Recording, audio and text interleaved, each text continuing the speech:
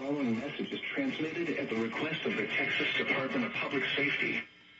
This is a child abduction alert issued by the Texas Amber Alert Network. The Brownsville Police Department is searching for Antoinette Rodriguez, Hispanic, female, 13 years old, 5 feet 0 inches, 115 pounds, brown hair, brown eyes, and last seen wearing a black button-down short sleeve sweater and black pants.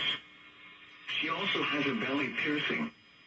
Police are looking for Clayton Phillips, white, male, 18 years old, 5 feet 7 inches, 120 pounds, brown hair, blue eyes and most likely wearing dark colored shirt and black jeans, and in connection with her abduction.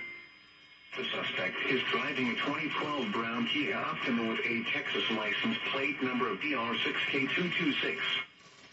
Vehicle has rear window tint has bubbles. The suspect was last heard from in San Antonio, Texas. Law enforcement officials believe this child to be in grave or immediate danger. If you have any information regarding this abduction, call the Brownsville Police Department at 956-548-7014. News media point of contact is Brownsville Police Department at 956-548-7014.